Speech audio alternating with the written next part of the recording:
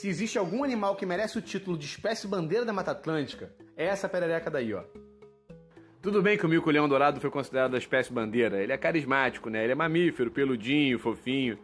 Mas a simpática Filomedusa burmasteri, isso aí, Filomedusa burmasteri, tem as quatro cores da bandeira brasileira: o verde, o amarelo, o azul e o branco.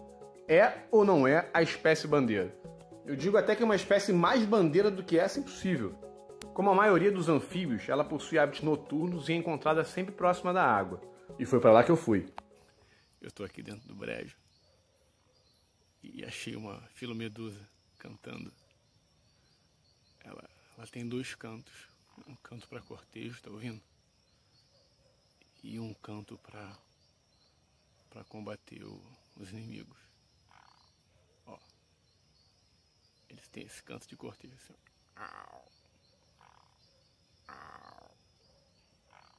Tem um canto de, de guerra aqui, ó.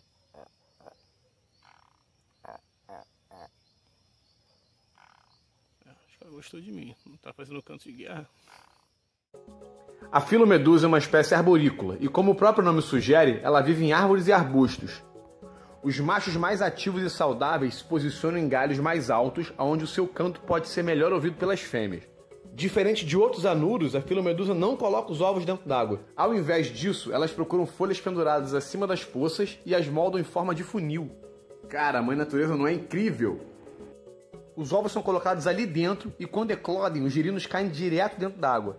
Essa é uma estratégia de sobrevivência muito interessante quando os girinos caem dentro d'água. O problema é quando acontece algum erro de cálculo e a folha está em cima da terra e não da água. Eu disse que a natureza era incrível e não perfeita.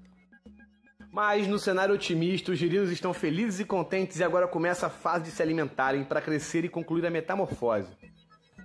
Mais uma característica ímpar desse gênero de anfíbio é a sua forma de locomoção lenta, como um tipo de caminhar hipnótico pelos galhos. Essa forma diferente de movimentação lhes deu o um nome gringo de Monkey Tree Frog, pererecas macaco. E qual é o significado do nome Filomedusa? A palavra filomedusa deriva do grego filo, que significa folha ou folhagem, e a palavra medusa significa rainha ou protetora. Saltando! Assim, ela foi batizada como a rainha das folhas ou a protetora das folhagens. Pô, tudo a ver, né? Mas calma aí que tem mais um nome ainda. Também são conhecidas como pererecas de cera porque produzem uma secreção de aspecto ceroso na pele. Essa substância tem características bioativas com um elevado potencial farmacêutico. E aí tu já viu o drama, né? Como novos medicamentos movimentam um mercado bilionário pelo mundo, esses animais já viraram alvo da biopirataria e muitas filomedusas foram traficadas para fora do país. É a história que sempre se repete.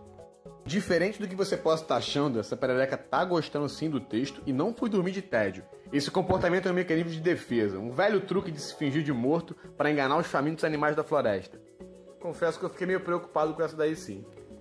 A boa notícia é que apesar dessa vida sediada por predadores e biopiratas, a filomedusa não é considerada um animal ameaçado de extinção, ainda. Muitos estudos são feitos todos os anos e a cada nova descoberta diversas novas perguntas aparecem. Descrita por alguns pesquisadores em trabalhos científicos como a carismática perereca do pôster, a filomedusa, sem sombra de dúvidas, é a perereca mais fotogênica da Mata Atlântica.